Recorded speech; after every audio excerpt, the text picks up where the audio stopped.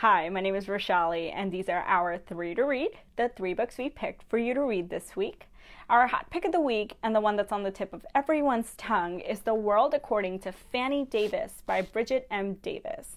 This book takes place in Detroit in the 1960s and 70s, and it follows the life of Davis's mom, who had an underground lottery business to help take care of her family.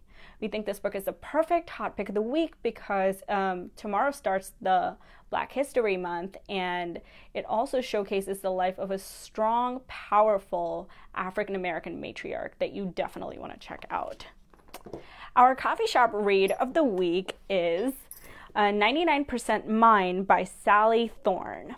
This romantic novel follows the life of Darcy, who's been in love with her twin brother's best friend Tom since the age of eight, but has been told from the get go that Tom is off limits. Um, this book then fast forwards to a couple decades later when the twins acquire their grandmother's old rundown cottage and Tom comes over to help fix it up. Uh, Darcy falls back in love with Tom, and that's when this book heats up. We think this book is the perfect coffee shop read of the week because it is cute and it's romantic and it's the perfect book to read around the Valentine's Day time.